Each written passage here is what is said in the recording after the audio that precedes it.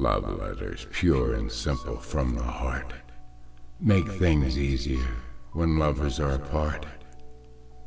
The words flow laden with love, touching you deeply like it should.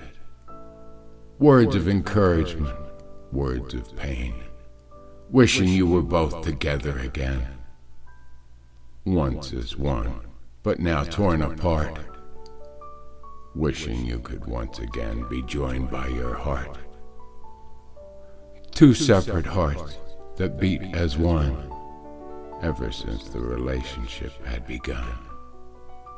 Overcome with love as your name you sign, more passion flowing with each written line.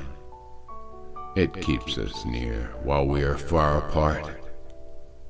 Love letters straight from my heart.